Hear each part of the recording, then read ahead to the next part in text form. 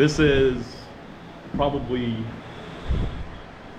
you know, all fire scenes are pretty dynamic, right? And this is like our worst case scenario that you go in for something, one of your own guys is missing. And to train on this stuff uh, makes us better prepared in case that ever were to happen. We don't want it to happen. I mean, we also train on uh, a situational awareness to keep people from getting into situations like that. So this is a situation where a guy got away from his crew, where crew continuity is very important. We try to teach and train that we never leave our crew behind. And but you know things happen. Everything's dynamic, and the fire scene can change in a second. Um, you know there could have been a wall that came down.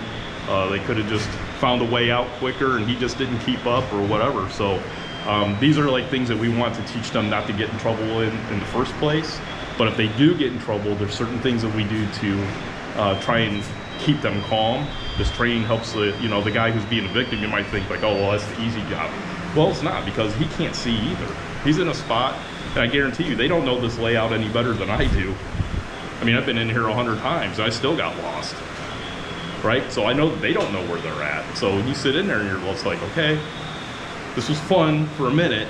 Now I'm, you know, now I'm trying to get out. So what it does, it speeds up the heart rate, it speeds up your breathing, and what we do is we really try and get uh, them to think about what the International Association of Firefighters came up with. Uh, uh, an acronym of grab lives and that means like check your air get a radio know where you're at you know there's there's all kinds of different things that we go over and that's what this what this guy's doing right now is that he's making sound they're communicating to each other and uh, that's what we're trying to do on all bases whether you're the one in trouble or you're the one that's on the line to help them that's what we're trying to do. So you kind of answered this a little bit. What are you looking for from them in their response I want a crew continuity. I want to see that they're talking to each other. I want to see communication. I want to see efficient movement. Uh, I want to see a good search pattern. And uh, most, mostly, I want them to be able to get to the guy and get him out. I want them to locate our victim. You got him? Yep, Heroes! All right. Great job, guys. Brett, you okay? It's really dark in here.